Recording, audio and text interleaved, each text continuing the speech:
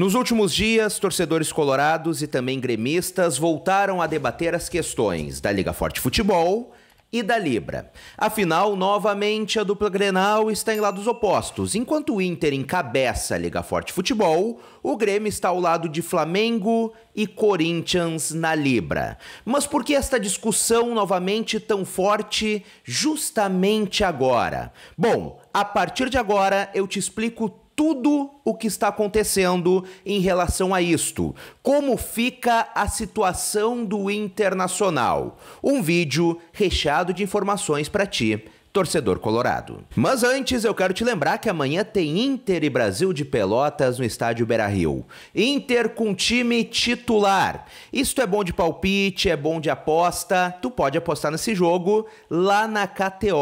E tu criando a tua conta hoje mesmo, usando o cupom Lennon, como tá escrito aqui embaixo, ganha 20% de bônus no teu primeiro depósito. É isso mesmo, barbadinha. É só criar tua conta usando o cupom Lennon fazer teu primeiro depósito e aproveitar 20% extra, 20% de bônus, aquele up por conta da KTO. O link tá no comentário fixado desse vídeo. Bom, nessa semana o assunto das ligas voltou a ficar em evidência. Isso porque a Libra, liga a qual o nosso rival Grêmio faz parte, junto com Flamengo, Corinthians e outros clubes, acabou encaminhando a venda dos direitos de transmissão para o Grupo Globo.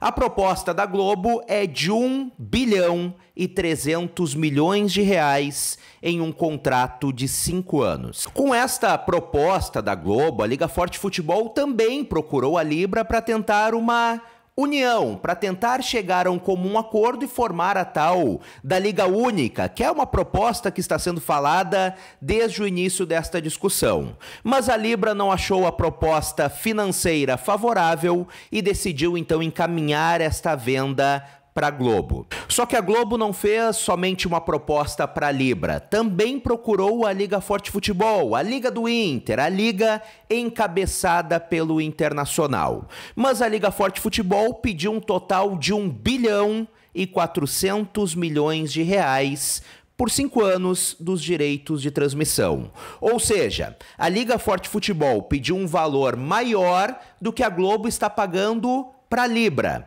A Globo, obviamente, não aceitou. Afinal, em termos de audiência, as duas maiores torcidas do Brasil hoje estão na Libra: o Corinthians e o Flamengo. Então a Globo acredita que não faria sentido pagar um valor maior justamente para outro lado, que não tem nem Corinthians nem Flamengo. Então, diante disso, a negociação não avançou diante deste valor pedido pela Liga Forte Futebol e a Globo desistiu do negócio. Ou seja, a partir do ano que vem, a partir de 2025, o Inter não deve ter mais os seus jogos como mandante transmitidos pela Globo ou pelo Premier. Mas vamos seguir, afinal, se a Liga Forte Futebol, encabeçada pelo Internacional, não chegou a um acordo com a Globo, onde serão transmitidos os jogos do Internacional a partir do próximo ano? Bom, a boa notícia é que a Liga Forte Futebol já recebeu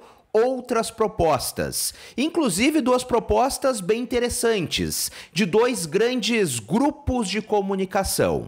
O primeiro deles é o SBT a emissora de Silvio Santos, que tem interesse em adquirir estes direitos de transmissão nos próximos cinco anos e poder transmitir então as partidas destes clubes como mandantes exclusivamente no SBT. Ou seja, a transmissão do Internacional, caso a Liga Forte Futebol chegue a um acordo com a emissora, seriam transmitidos no SBT. Lembrando, os jogos como mandantes. Mas além da emissora do Silvio Santos, além do SBT, a Liga Forte Futebol também recebeu recentemente uma proposta, aliás, uma sondagem do grupo Warner, uma gigante do entretenimento mundial. Isso porque o grupo Warner quer ampliar o seu catálogo esportivo aqui no Brasil. Atualmente, o grupo transmite os jogos como mandante do Atlético Paranaense, transmite na TNT Esportes, que faz parte do grupo, mas eles querem ampliar e muito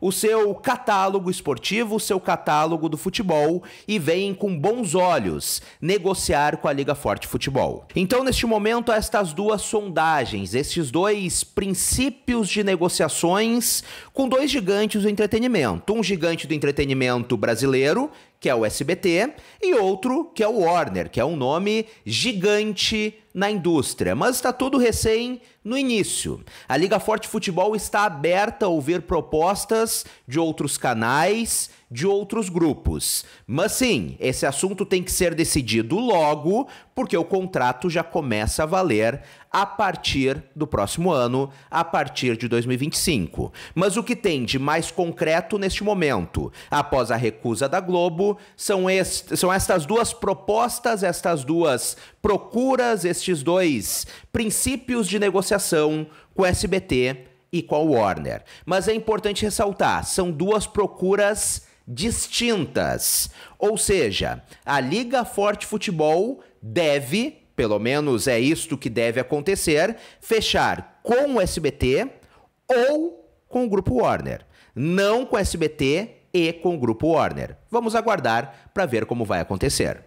Mas fica tranquilo, torcedor colorado, que não há chance nenhuma de tu não ter mais como assistir os jogos do Internacional a partir do ano que vem. Relaxa, que isso não está em discussão. A Liga Forte Futebol vai fechar um contrato, seja com a SBT, seja com o Grupo Warner ou com outro grupo que acabe procurando a liga. E pra gente encerrar, vamos falar sobre valores. Afinal, foi por isso que o Inter acabou encabeçando a Liga Forte Futebol.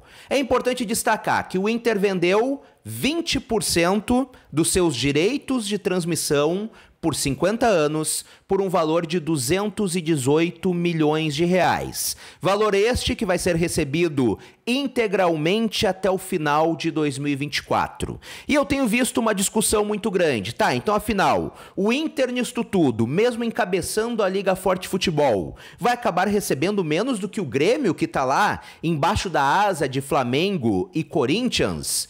A realidade é que a gente não sabe. Isto porque os outros 80% ainda dependem destas negociações. Tudo depende dos acordos que serão feitos a partir de agora. Qual o valor que vai receber, por exemplo, se fechar com o SBT? Qual o valor que vai receber, por exemplo, se fechar com o Grupo Warner? A realidade é que neste momento nós não sabemos se o Inter vai receber menos, mais, vai receber um valor igual ao que o Grêmio vai receber lá na Libra. Tudo depende das negociações que estão em andamento.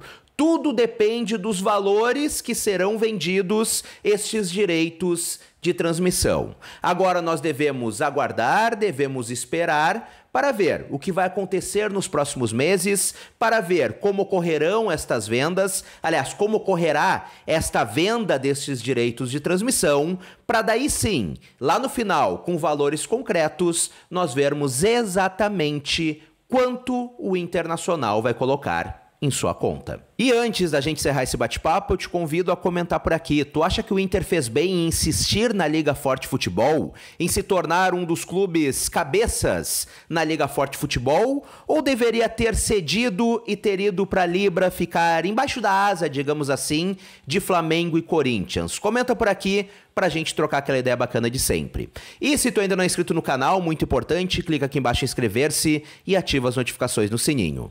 Um grande abraço, saudações coloradas, até a próxima e tchau, tchau!